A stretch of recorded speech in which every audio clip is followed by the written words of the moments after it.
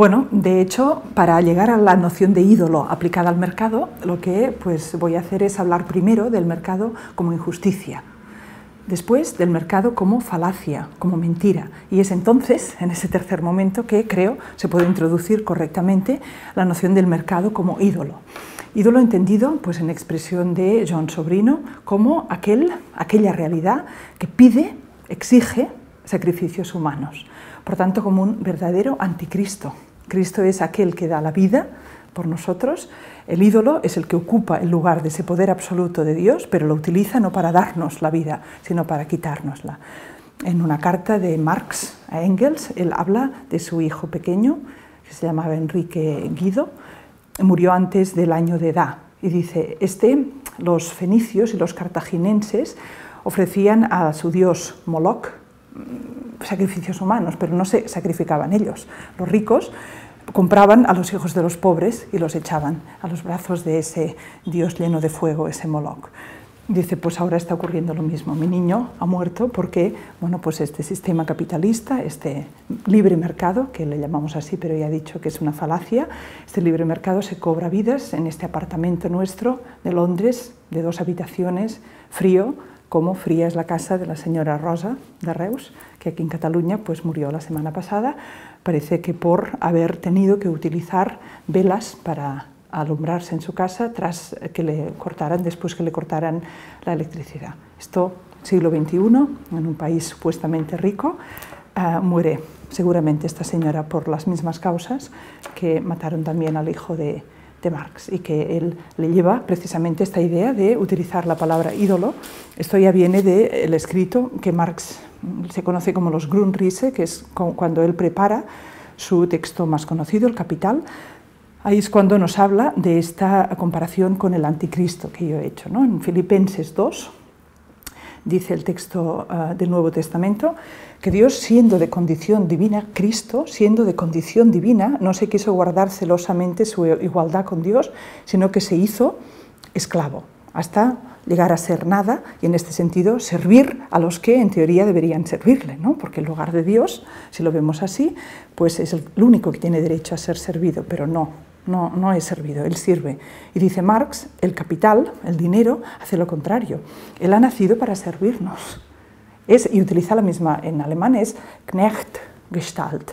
O sea, la forma de esclavo tiene por su, diríamos, mm, origen. ¿Por qué? Porque es un instrumento para facilitar el trato a los humanos, ¿no? un instrumento de circulación, de intercambio, el dinero, es para servirnos a nosotros. Y de esa forma de esclavo se convierte en una forma evidentemente falsa, pero en una forma efectiva, en una forma divina. Por tanto, nos exige a nosotros que le sirvamos y que le sirvamos hasta la muerte. Seguramente no hay una causa simple, yo creo que es obvio que hay unos elementos externos muy claros, ¿no? No nacemos en el paraíso, nacemos ya en una sociedad que tiene lo que en la tradición cristiana llamamos el pecado estructural, por tanto aparecen como normalizadas unas relaciones de poder, unas relaciones que la diferencia natural, porque ahí hay algunas parábolas que se quejan a Dios de que haya dado muchos talentos a una persona y ninguno a otra, ¿no? Y esto pues hasta hoy se encuentran personas que dicen, oye, ¿y esto? ¿Por qué no nacemos todos con la misma inteligencia? ¿Por qué no nacemos todos con las mismas dotes físicas y con las mismas dotes y habilidades necesarias para competir? Claro, porque esto, cuando se hace esta pregunta, es porque ya estamos en el chip de que como la vida es competencia, entonces como mínimo tengamos igualdad de, condiciones. Pero claro, es que la propuesta de Dios no es que la vida es competencia, sino que, como diría, yo soy benedictina, pues en la regla de San Benito, dice en el monasterio el que tenga que dé y el que no tenga que pida. Uno dice, hombre, ¿Cómo eso? Pues eso. Porque aunque empezáramos en esta situación, que para mí no sería deseable, pero que comprendo ¿no? la desazón, empezáramos con esa supuesta igualdad, bueno, ¿ahora qué vas a hacer? ¿Controlar la vida de cada uno para que nadie se caiga y se quede sin pierna? Para que nadie se queme y se quede sin ojo, porque entonces la igualdad se te va a desmontar rápidamente, ¿no? Si aceptas que existen accidentes y que existen eventualidades que no están ni controladas ni previstas de antemano, entonces la vida real, que es histórica en el tiempo y en el espacio, ya empieza con desigualdades, que no son ningún problema si la competitividad no es el centro de nuestra relación humana, pero es que además, aunque empezara así, si tiene que ser vida y tiene que ser abierta, entonces las crea esas desigualdades. Y por tanto, eh, no es un, diríamos, eh, bueno, es problemático colocar esa competitividad en el centro. Yo creo que es parte de lo que nos hace aceptar como inevitable lo que es fruto de mm, nuestra decisión colectiva. Evidentemente hay muchas personas que les gustaría decidir de otra manera, pero colectivamente es cierto que la crítica que hacen los profetas al fetichismo, esa se puede aplicar perfectamente al mercado como ídolo. Es decir, fetiche viene de la palabra latina, el verbo latín facere, y esto quiere decir algo que tú has hecho con tus manos. Pero tras hacerlo con tus manos, como es el caso del dinero, ¿no? no ha caído del cielo el dinero, esto lo hemos fabricado los humanos, lo hemos hecho con nuestras manos, es un fetiche, pero ahora lo ponemos en un pedestal, nos arrodillamos ante él y le permitimos que nos exija sacrificios humanos. Entonces eso eh, creo que algunas de las causas son, como he dicho, esa visión del mundo que normaliza la competitividad y, como diría Margaret Thatcher ¿no? en los años 80, no hay alternativa y como que pues, en ese ambiente uno se socializa y en ese ambiente pues, se tiene que despertar y, darse cuenta y eso pues, pide que haya personas que hablen de esto, pide que haya espacios.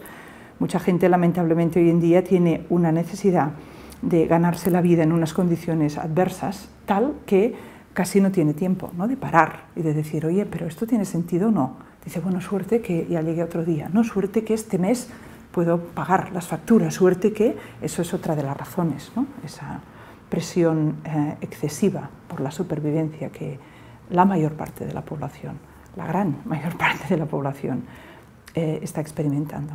Porque estos son como factores externos, pero yo también reconozco los factores internos, es decir, lo que Eric Fromm llamaba el miedo a la libertad, pues también existe, ¿no? y yo lo reconozco en mí, estos, esta, diríamos, mm, tendencia a pues buscar lo conocido, ese miedo a algo desconocido, esa, ¿qué quiere decir? Que soy responsable de mi vida. No, esto es porque aquí los jefes, aquí la gente que manda, esa dificultad de también enfrentarse a la vida como algo que está en tus manos.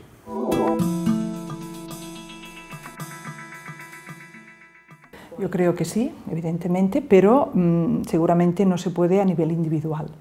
La, parte individual es fundamental, es decir, el trabajo que tú tienes que hacer contigo misma no lo va a hacer otro.